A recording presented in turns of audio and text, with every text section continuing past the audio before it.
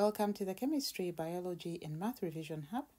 Today we're doing the walkthrough video for answering biology questions which earn more than 5 marks. This could be a 6 mark question or a 5 mark question.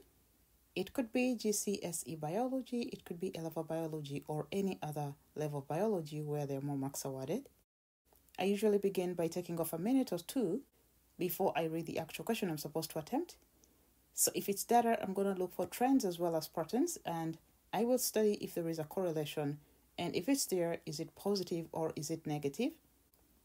I also look for consistency in the results. Were there repeat experiments? What means calculated? Are there standard deviations given?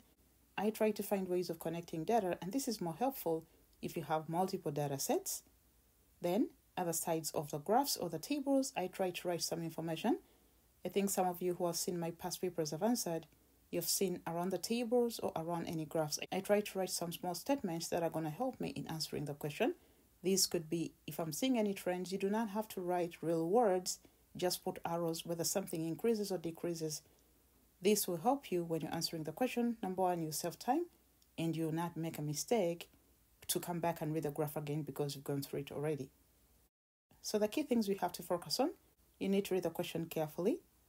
Here, you try to understand the requirements from the question before starting your answer. And while reading, try to underline the keywords in the question. It could be command words or any other words that are relevant to the question. Try to underline them because they're going to be helpful. In the end, you will look back and see the underlined words to see if in your answer you've included things that were required for that question. Then, after reading the question, now you're trying to attempt you need to spare maybe a minute or so to plan your answer.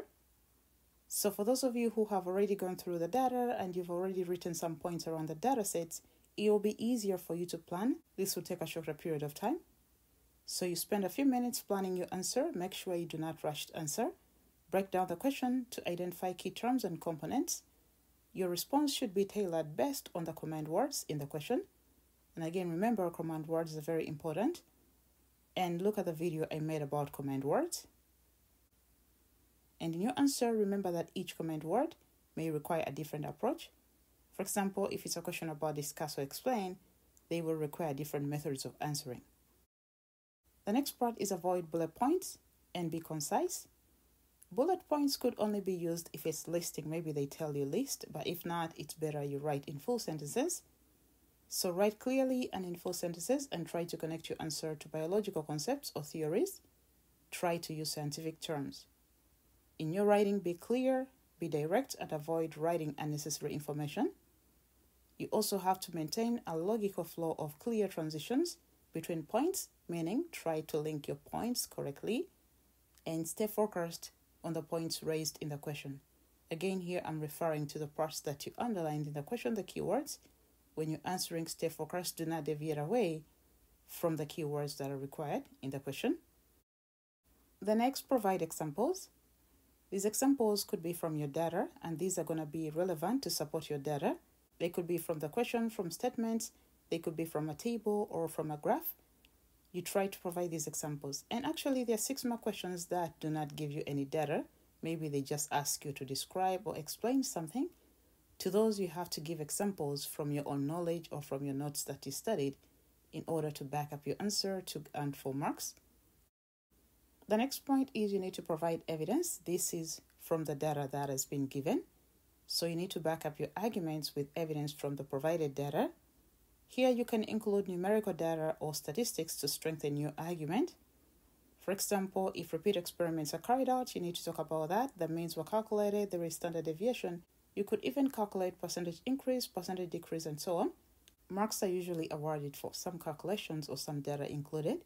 Your own knowledge may also be required in explaining processes included in the question. This could be a theory, for example, a question about respiration could require you to briefly include details on respiration, or a question about enzymes could require you to include how they work, even though this is not directly inferred in the question. Next, consider alternative perspectives. This could be in some questions, maybe those that require you to discuss and so on, or assess the information.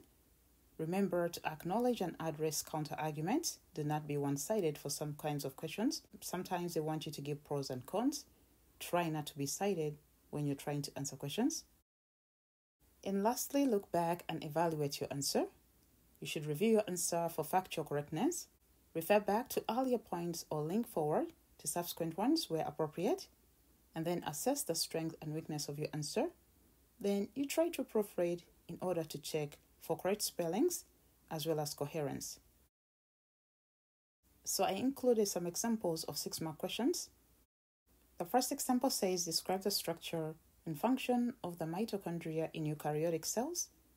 Here the keywords are we need to describe, but we are focusing on the structure as well as the function of the mitochondria. So I could say the mitochondria are double membrane organelles found in eukaryotic cells.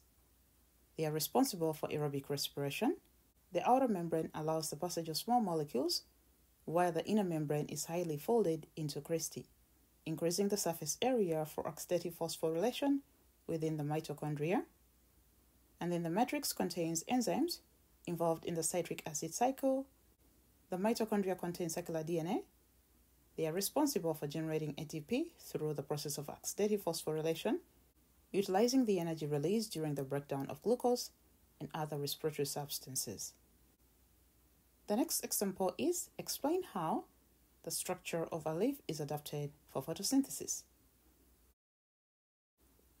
In explain questions, we have to describe and give a reason. And in this case, we're focusing on the structure of the leaf. So I could say the leaf structure is highly adapted for photosynthesis. The upper epidermis is transparent, allowing light to penetrate into the leaf. And beneath the epidermis are layers of palisade mesophyll cells, which contain numerous chloroplasts. And these cells are arranged vertically to maximize light absorption.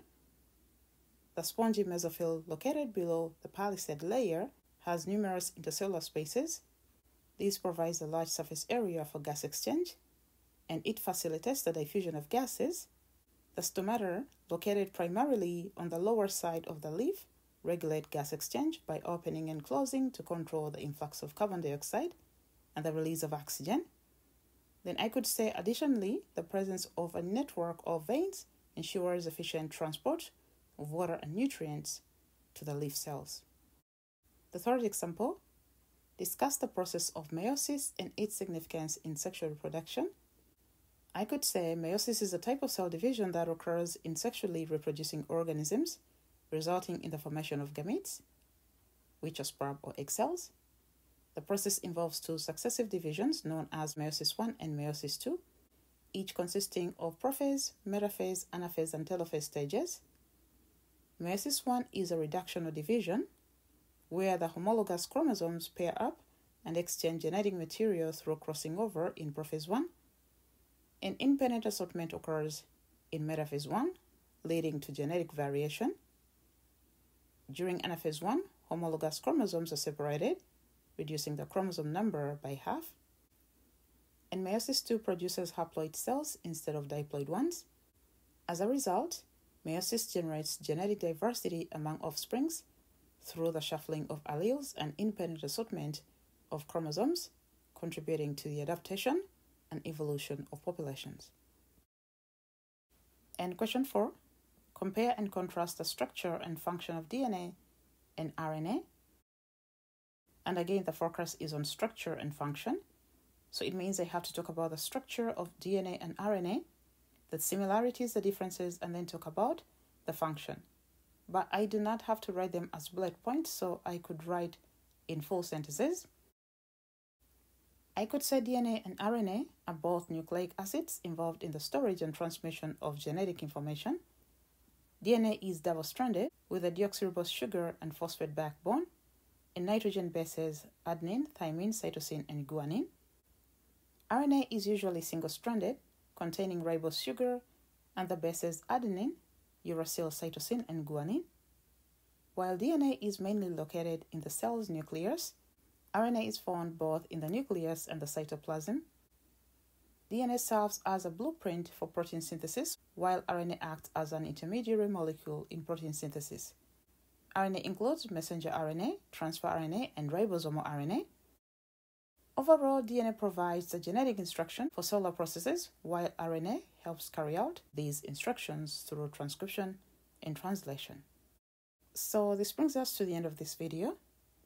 Thank you for being with us. Do not forget to subscribe. See you in the next video. Bye bye.